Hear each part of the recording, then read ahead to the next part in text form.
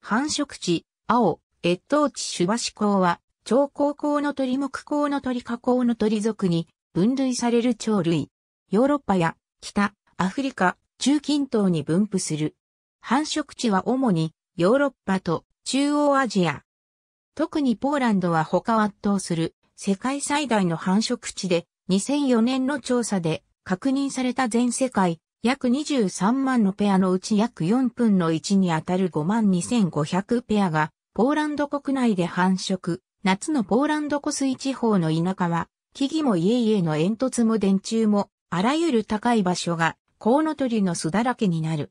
以前は本種及びその亜種 CC ボイシアナの和名がコウノトリとされていた。DNA 考察法では別種 C ボイシアナとされた。以下の亜種の分類は IOC ワールドバードリストに従う。ヨーロッパでは家の屋根や煙突等に営巣する習性がある。メス、有共同で放卵、育数をする。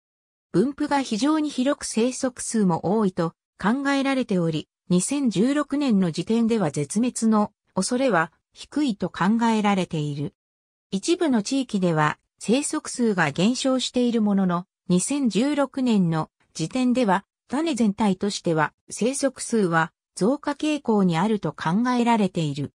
一方で、湿原開発や河川改修、ダム建設、組み上げなどによる生息地の破壊、干ばつや砂漠化、農薬の使用による獲物の減少、農薬や食肉類用の毒餌による中毒、飼料、送電線との衝突死などによる影響が懸念されている。